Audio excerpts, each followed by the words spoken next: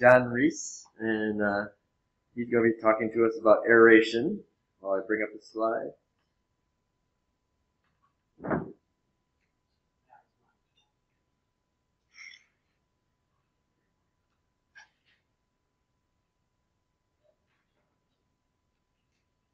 All right, we're back on track for uh, being done in time for lunch. So put the pressure on you. Hello. Am I okay? Okay. Um, I'm, a, I'm a vendor, uh, so I, I appreciate skepticism is healthy, and, and you should all have that as well. Uh, I was skeptic when I first heard about aeration using this type technology. A little bit of history of it was back in the 70s before pit barns. Uh, some of the hog producers would take their on manure, recycle it through the barn to help flush things out. Um, and one of the issues there with aerated water and and uh, was was formed. It's a big problem, and it was one of the causes for saying that this technology doesn't work. And uh, so struvite's pretty close to my heart. Um, and and in some instances, struvite is an issue, and I just tell the farmer that you have to be smarter than the struvite. So, and, and that does solve a lot of the problems when they think about practical solutions. Um, one of the, the, where I heard about this, I'm a, a, a professional engineer, I'm a TST, and at the time doing construction inspection at a large farm, the people came and said, hey, we're looking at this aeration. Uh, what do you think? I said, how much horsepower blowers is it? Um, and they said it doesn't blow bubbles. Uh, it, it, works on a different technology. I kind of looked at it. My advice to them was, it's snake oil. Don't walk, run. This can't work that way. And they they gave me all the honor that most people give an engineer, and they ignored me. They bought it, they installed it. I'm during uh, doing construction inspection, and I'm seeing the results on the pond that they installed. And it was intriguing because odor did get eliminated, and the solids were decomposed, and um, everything. I, I, started being associated with the group. We uh, this was in 2006. So anyway, skepticism, great, uh, but this is what I've learned. Um, going to pick up from there now. So, uh, aeration, but I'm saying it's a new paradigm to, to applying to growing crops. That's where I believe we're headed when you can get rid of manure odor and decompose the solids. Uh, it makes it very easy to transport to uh, uh, crop land um, the benefits are no fight to place before the crop is planted. There's no fight to beat the fall uh, freeze up. And some things coming up, uh, cellulose, cellul, cellulose ethanol. Um, they got to rake the corn stalks, bale it, remove the corn stalks before they can get out in the field. That extra four weeks up in this area means your ground is frozen. You apply to frozen ground, you lost pretty much your whole year's worth of fertilizer value. So uh, uh, summertime application period is a longer, safer application period. Fertigation has been recognized to be very much more valuable per uh, unit of fertilizer used. Some of the uh, answer plots say that 70% uh, yield increase for the same amount of nitrogen being used in uh, fertilizer stuff. The missing part on this is not everybody has irrigation pivots to put it on growing crops, and there's nothing big to put out there. And a colleague of mine in a whole different industry is developing uh, this self-propelled, especially wide portable linear irrigator. Um, basically, the pumper is still used. He's bringing that manure to the field, but you hook up with this. Uh, imagine the, the logistics of this piece of equipment a half mile long hose on a reel that's above the corn, being able to travel through this corn, drop the hose as it's going to the end of the field. When it gets there, pushes the button, it starts up irrigating. Five passes, it's got 160 acres uh, irrigated. So that's what we're looking at. That should be available at the Manure Expo coming up. And again, it's all based on no odor. Um, it's not a nice thing to do in the summertime to spread raw manure, yet Nebraska's full of it. Um, uh, they share it with everybody. Okay, so USA, it's a big place, um, huge population. That building, when you add up all the manure being created in the rest of the United States, if I did my numbers right, 13 times each day it could be totally refilled manure. That's how much manure we have in the United States. Um, those people in the city, uh, the closest they ever get to having a manure problem is if they step in that dog do. And I can attest, and most of you can attest, that will ruin your day. I mean, your whole day because you can't wash it off. You know it's lingering. You're wondering if all the people you're meeting can smell that. Um, urban, and I, I, want you to look around. The people that you're sitting next to, uh, everybody in this building is. I I tend to think that you're more urban oriented and, and personally affected by dog manure than you would be affected by what happens out on the farms. And yet, we in this room are charged with educating people uh, about their manure handling. And the Bible, of course, is uh, that's an old version that tells my age besides my gray hair. Uh, there's only two sentences in that book. Aerobic process require free oxygen and generally considered uneconomical for livestock operations, meaning it's too expensive to run blowers but the, they are helpful in reducing odor. Meanwhile, there's four pages that talk about anaerobic stuff. So we know a lot about everything else. We don't know much about aeration, and that's why I'm here. Uh, I was involved in an NRCS project in 2013.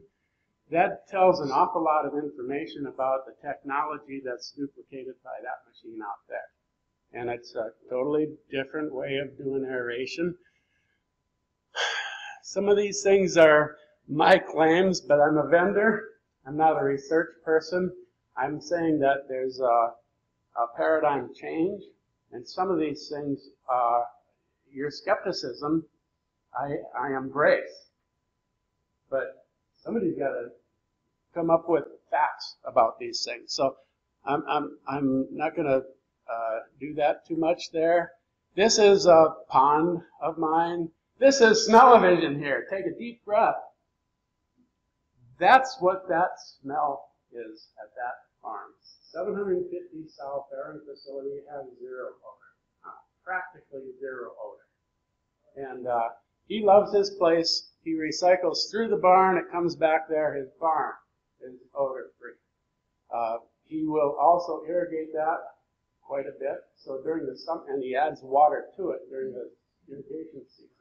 So towards the end of the uh, uh, growing season, that's pretty much replaced with uh, water. Uh, those are our claims to what we do. Hello. Um, my experience started in 2006, seeing pretty good results, unbelievable results. Um, these are some of the, this is, uh, come on, is that it? There it is. That's the equipment I saw first. This is other equipment. Uh, this is the study equipment. And this is a typical problem. Uh, stringy material wrapping on the propeller. That's another reason why back in the 70s that it doesn't work. And uh, after the study was done, I, I, I left that group. I said, John claimed to be a smart engineer, solve the problems. The two main problems, too heavy. You needed a boom truck or crane. The other one was that it, it uh, invited the stringy material to wrap on it. That equipment out there is a result of my total reconfiguration of how it should work, and it's proven to be pretty successful. Um, there's a video out there that actually shows the amount of water that's moving. We are believing it's 20 to 30,000 gallons per minute that's moving and brought to the surface. The root of the technology is it's coming up from one point, it's stretching out, can't do anything but stretch out on the surface. That's the less this place there. So uh, um, take a circle this big, getting a bigger diameter, you have to break it open, and that breaking open is much like stretching taffy, which puts air into taffy, or mountain tumbling stream. Uh, continuous surface exchange, and the surface exchange is where oxygen happens. Uh, that's that's the simplest version of why this, uh, my explanation of why this technology is working. Um,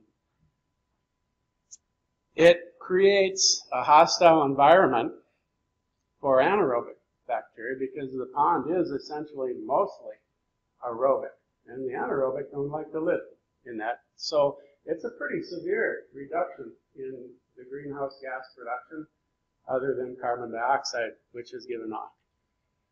Cold weather, um, I often say it's like compost. It's composting in liquid. And everybody knows composting, irregular uh, dry matter composting, is a thermophilic bacteria that you rely on and it's a heat type thing. But even in wintertime, nature provides the bacteria. I don't sell bacteria. Nature provides it, uh, and I'm sure it's a seasonal change in which which uh, bacteria is, is thriving at that moment. That is uh, actually shown in wintertime. You can see the foam that's coming up is, is part of the solids. Uh, in a layman's term, uh, bacteria, uh, uh, aerobic bacteria just got a deep breath of uh, air and they're coming back for the second cycle. They're coming across the solids. They say, oh, fresh food. They latch onto it, start eating it. They burp or fart, I'm not sure which, but that gives them a little bit of life jacket and it, it brings them up to the, the top. So that's what I believe the foam is uh, coming up there. And then on the other sides here, that's pretty much frozen in, in, in this example here. Uh, widespreading induced surface exchange. Like I said, it's widespreading, but you can't just sit there and go like this to water. It has to have a mass uh, replacing it. And so the upward flow is the induced portion, and uh, the surface exchange is, uh, is how it all happens. Uh, 500 to 600 watts, that's all that uses for bringing up and spreading. But uh, so that's a horsepower motor. But the study showed that it should be able to keep up with about 100 animal units of dairy cows, you know, 100 Jersey cows. Um, pretty, I'm, I'm pretty excited about the design of that. The propeller, it looks simple. It looks like a toy. But it is awesome. There's two different shapes. Uh, that is the model that can fit into the deep pit barns, hog barns. And uh, the, the X shape is a little bit wider footprint, so any kind of stringy material that comes up um, and catching on the rods, uh, the frame, it's a little bit farther out, so it, it doesn't have uh, too much effect on uh, the, the, flow. Um, this is the information. These are my claims. Uh, uh, bottom line is I, I, I do want to see these uh, installed at more places. Like to offer them at farms. My my method of sales is not to try to convince them that this works, other than to say, please let Mr. Farmer let me install this. Let me show you what it can do on your ponds if you like it. Then you buy it. Uh, it takes about three months for the, the, aerobic bacteria to go from zero population to something that is obviously really uh, consuming the daily inflow there. So um, it, it's free equipment for anybody that wants to use it, uh, uh, including research facilities. So uh, these are some of my claims. Um, I have, the study has backed them up there's more details that need to be reviewed. So what I've learned, uh, first of all, you better separate the dairy's floating solids.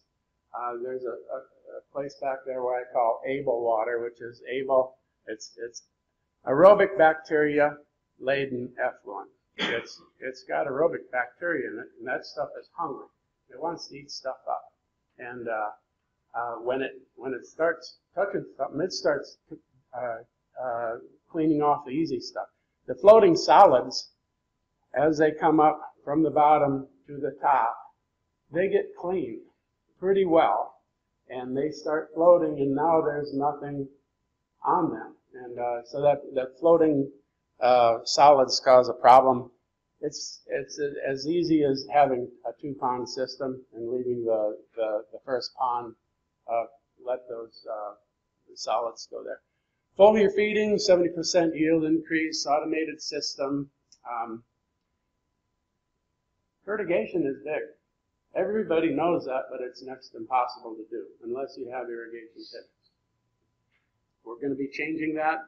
Um, yet, when you have fertigation, an automated system, and it's no longer an evil thing to add water because you can get rid of it easily. Now, that adds a whole method of, of, of, management changes in your farm that can really make your farm operate and your manure handling operate better. Um, this one is important to understand. If you want to get rid of odor, you recognize that the farmer will not pay a nickel just to get rid of odor. He has to have some economic benefit beyond the not offending the neighbor. And so the making this be able to go through an automated system by getting rid of the odor and decomposing the solids so they don't have any chance of plugging any nozzles up. Um, that's the ticket for us as, as, as a group of people to let that farmer survive uh, without without causing odor because he's getting economic benefits through a, a different way. Um, the other thing that's very important, we know about it. It's like the elephant in the room. We don't want to talk about that farmer who had to put manure on the on the frozen ground. He had to do that. He's full. He waited too long, or the weather, or whatever. It's happening way, way, way too much. We don't talk about it. Yet this uh, summertime application is really the, the way to get through there. What I think I've learned, and more studies needed, um, uh, we were at the Manure Expo last year at Brookings. We, anybody who attended that, um, if you've attended it and were at the dairy tour, let people know the amount of odor that you you smelled there. Because it's unbelievable for, for nor, normal people to say a, a manure pond doesn't have any odor. But what came along with it, and I didn't have the numbers, was the, the, the nitrogen testing on that. There was 17, my test showed 17 pounds per thousand gallons of nitrogen in that stuff that had no odor. Now that's impossible unless something else is tying up, like there's a, a poster there, the zeolite or whatever it is, that can can can bind that nitrogen uh, in a, in, and hold it in uh, ammonium form without that ammonia ammonium balance. Uh, with our it was warm, and the pH was eight percent. Yet the place didn't stink. Yet it had a lot of nitrogen. What's going on? I don't know. Um, I believe an automated manure handling system, we're not doing anything different. I mean, it's still going to soil. It's been doing that for, for decades, centuries. Uh, we're trying to do a little bit various here and there. But, but if we can make it truly automated, where it's a push the button and it happens, that's a way better return than anything else on that farm. Because that farmer doesn't want to do anything with manure, yet he has to. And it's very, very costly. Um, the other thing, another one, um, I don't know if somebody has an idea what, what to test for in this effluent, uh, so we can monitor the burn ability of effluent. Please tell me. The people that I've talked to, Uh, they kind of ended, they say ammonia, but mm, then they say not really. Here's one that's, um, I'm hoping there's students in the, in the audience or professors that are guiding students. Uh, th- that equipment is real. It looks like a toy. Uh, right now, there's a thing called every, every industry. They have an idea how to maximize, uh, figure out a theoretical what's the maximum performance. Wind towers, it's called Betz law. Um, and, and it, it's very interesting to read, and, and I'm sure it's true. But nobody knows anything about that and how to, what, what is a maximum performance. And it isn't going to be Reese's law, I can tell you that. This uh, straight C student didn't, isn't going to get there. But there's, there's something to be studied on this. There's other uh, stuff that needs to be looked at uh, for maximization. Um, Johne's disease, is that how you say that? Johne's? Okay. It's real, um, yet not necessarily, if, if it's in your herd, you better get rid of it. Uh, and, and it isn't, it comes from your herd, so call those cows out. Struvite, um, just have to be smarter than that. Um, waste to worth to me meant bigger than manure, and, and a lot of other places in the United States are talking about composting, even on campuses. It's a, it's a big thing. Um, uh, waste foods, and what I've learned at other composting facilities is uh, when you're siting them, it's just smart business to have your own farm where you can use that compost yourself in case it wasn't selling practical enough. So that establishes a, a, a base for your your, uh, your your product. And then the other one, um, you will have to contain the runoff, and it's just a smart thing to do to add aeration to that runoff collection. So now you can accept liquid uh, waste as well, uh, uh, like uh, expired milk and things like that. So uh, that's what I've learned. I got uh, from that composting. I've run into a few people that that know quite a bit. Where do we go from here? Anaerobic digester. Yeah, people been chasing after that. When I was in high school, I had a tour of uh, a digester at a wastewater treatment plant, first one in the nation, and uh, that's out of business. Interesting that on the internet you can find out where new anaerobic digesters are being, but you don't ever, ever get to see where on the internet that they retired them, they put them out of business. Um, so there's a lot of AD out there that just isn't operating anymore because of the extensive problems, and somebody else covered that. Um, You'll have a chance for questions if you wrap up. That's my wrap up screen right down there. Um, you want to see it? Uh, if you saw it, talk to people, ask around if anybody saw, smelled. Um, we will be at uh, this Indiana uh, Manure Expo. We're installed at one of the four ponds. Um, our pond won't smell, but you won't be able to tell that because there'll be three others right next to it. But they will be sending that out uh, effluent to pivots and or maybe the Spepoli. Um, uh, NRCS, Greg Zwicke saw uh, results. If you want to talk with him, he's got an opinion. Uh, it wasn't our equipment, but it's his technology. North Carolina is doing it right. They just need to get rid of their odor. North Carolina does mostly, if I understand this right, uh, apply the manure nutrients onto the, the grass uh, through pit, growing it that way. Uh, just need to get rid of the odor. We do have a pretty pretty low installation and operating cost. Uh, the missing link is this Snooply, and hopefully that's going to be there as well. Questions? I may have a question they want to ask now. Yes. And just more of a comment, uh, Nick Elder from Agstar. Um, we have a database of digester projects we have, um, that listed of the shutdown projects too.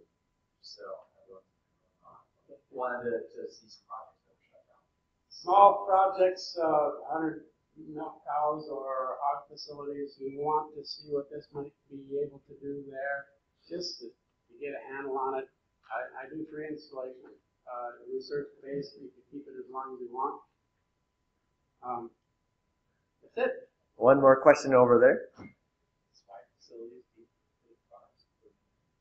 I can put them in, yes, that, that sounds crazy because you're going to say, oh, those orders that you released by advocating to kill my kids.